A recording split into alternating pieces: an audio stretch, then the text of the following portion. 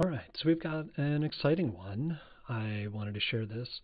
The ERISA Advisory Council, which uh, advises the Department of Labor, has been looking into long term disability policies and specifically mental health uh, limitations.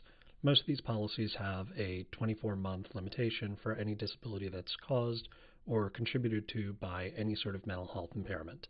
Some of them will carve out certain things like psychosis or dementia or other organic brain diseases, but if you're disabled due to bipolar disorder, clinical depression, uh, post traumatic stress disorder, or any other mental health impairment, your policy benefits would be limited to only two years.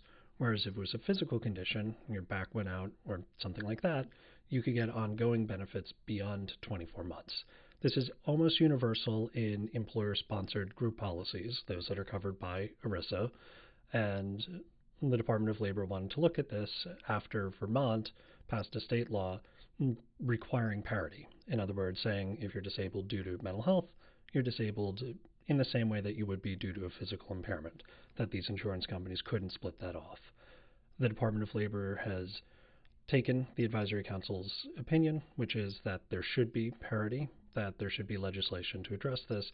And the interesting thing is Sun Life, one of the larger disability carriers, has issued a letter, a press statement saying that they fully agree. Uh, their point is that they feel that this has to be handled by legislation because if they just do it themselves, their policies would be uncompetitive based on the change in premiums.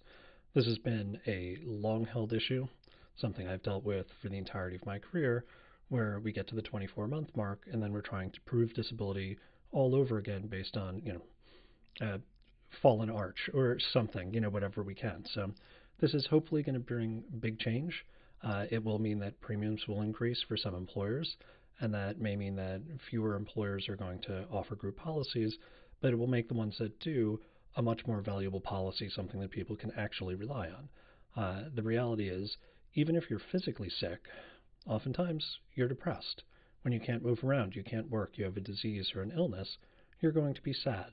And this has been a tool that these policies have used for years to say, well, then your disability is at least contributed to by a mental health impairment and cut people off at, after two years when it's a benefit that they were counting on for a long time. It's a step in the right direction and some good news in the ERISA field for change.